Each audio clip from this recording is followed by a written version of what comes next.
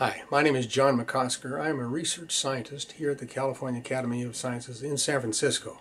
I was born and raised in California so long ago that when I went in the ocean I was terrified there were so many sharks. Now when I enter the ocean there are so few sharks, so many have been killed, slaughtered, just so that their fins can be made into shark fin soup. Learn about the value of sharks and learn what you can do to protect them and thank you for participating in Shark Week here at the California Academy of Sciences.